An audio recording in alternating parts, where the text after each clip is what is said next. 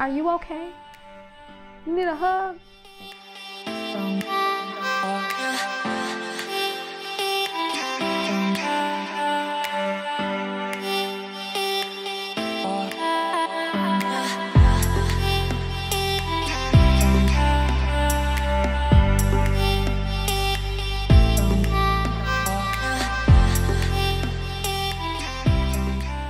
What's up, everybody? Welcome back to Nostalgia with B.Poetique with 80s, 90s, and 2000s vibes.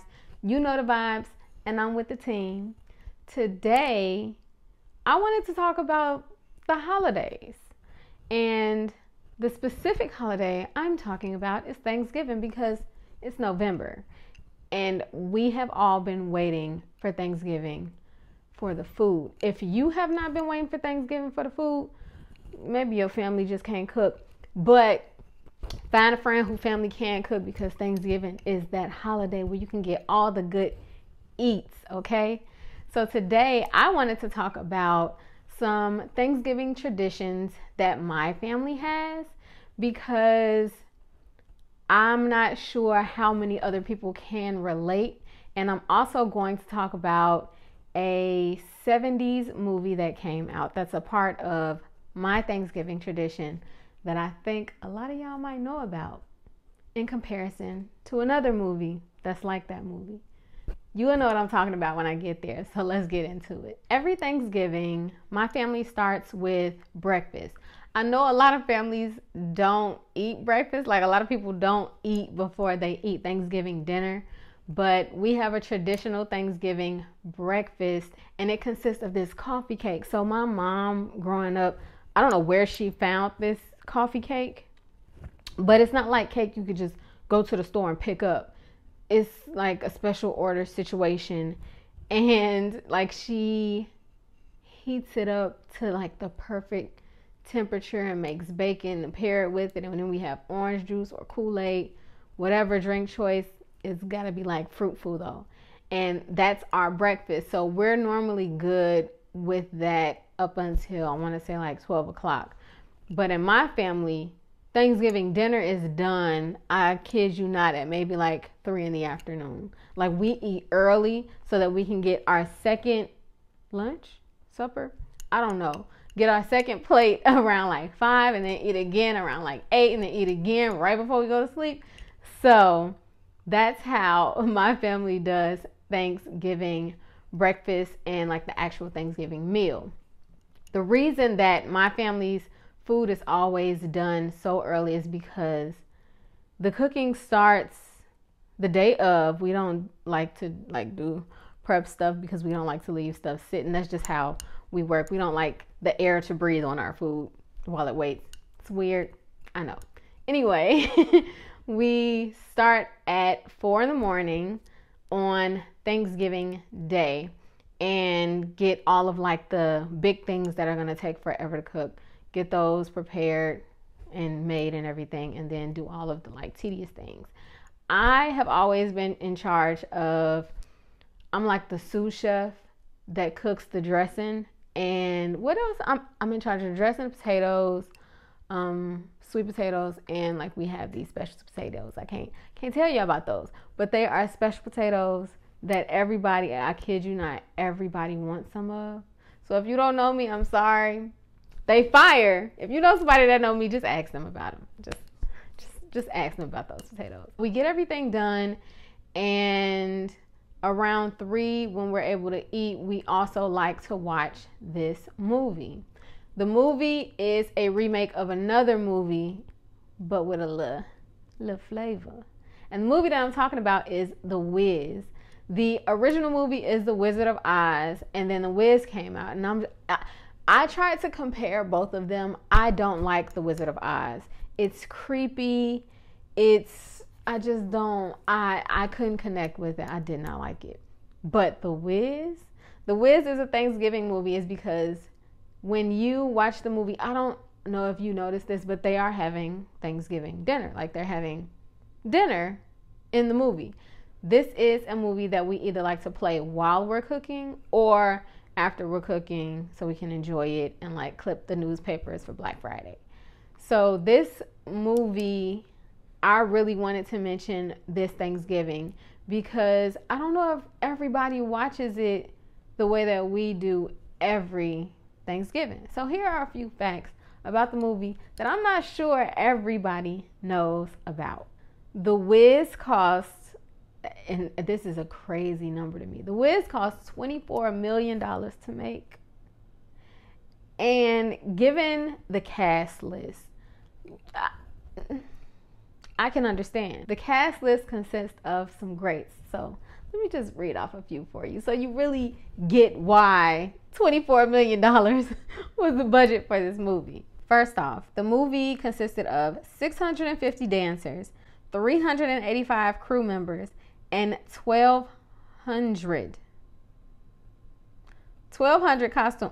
I couldn't even imagine having that many clothes, but a costume that's like top bottom shoes. I couldn't imagine having that much stuff anywhere, but that's what they had. That's why it cost so much. And then the greats that were in the movie, of course, were Diana Ross, Michael Jackson, Lena Horne, Richard Pryor, Ted Ross, Nipsey Russell, Mabel King, Teresa Merritt, Thelma Carpenter, and Iman. That is like the most star-studded cast list I've ever seen in a movie. The next I would say is probably Harlem Nights. I think Harlem Nights had a, a solid a solid cast. But The Wiz is a feel good movie. It's a musical. It gives you lessons. It gives you the same lessons of the original Wizard of Oz. But The Wiz provides a relatable feel. It's like a feel good. It's like you are you can connect better with the characters if that makes sense. Well, I can. And I don't know if it's a culture thing, I'm not sure.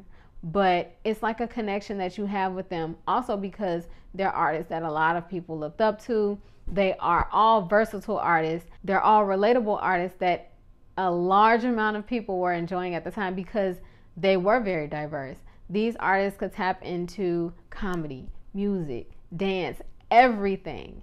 And now that I'm talking about dance, I don't know if y'all have seen the dance sequences in this movie. They found some of the best dancers around the world to be in this movie. And you can tell, like, you can tell the quality that went into the pickings of the dancers that they decided to use in this movie. The movie also is glitzy but real at the same time, if that makes sense. There's a lot of light work. It's just an amazing, an amazing movie. If you have not watched it, please watch it. If you don't like it, I don't know why you don't. Like, if you don't like The Wiz, please drop it in the comment section below and let me know why. Because we need to have this conversation. We need to have a therapy session because I don't. I I think I met one person that said that they didn't like it, and it's because they just didn't like that type of movie. Like they didn't like The Wizard of Oz either. They didn't like in either one. That's just not. It wasn't their their thing. I guess they didn't like musicals. I don't know. But if you don't like it because it's not a good movie, are you okay? You need a hug? From as far as I can remember, this movie has been a part of my Thanksgiving tradition. And another movie that's been a part of my Thanksgiving tradition is also a remake, and it leads to the next holiday. This is a movie that we tend to watch either at the end of Thanksgiving Day or the next day when we put up the Christmas tree. And it is The Grinch with Jim Carrey. That that movie is hilarious. Love that movie.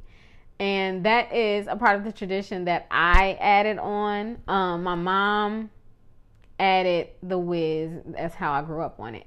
And then when Grinch came out with Jim Carrey, I was like, no, th- this is the one. Like this, this is the one. So the day after Thanksgiving leads to my next favorite movie. But that is a few of my Thanksgiving traditions. Along with the traditions, the following day we also go Black Friday shopping. Um, if there's anything that you know we want to physically get And if we don't need to physically like touch it and try it on or whatever it is, we wait till Cyber Monday. So that's the trick. If you've never shopped on Cyber Monday, you might find better deals on Cyber Monday than you do on Black Friday. That's all I'm gonna say. And it's all online. It's some in store, but it's mostly online, so you don't have to fight with nobody auntie over a TV.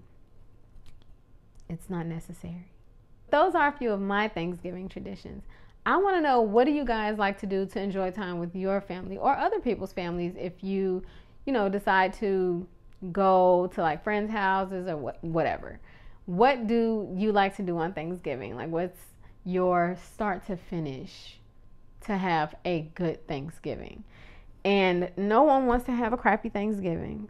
So I highly recommend planning where you go and what you eat because it's important whose house you visit first. Don't visit the person's house first that has the not so good food because by the time you get to the person's house that got the real good food, it's probably gonna be gone.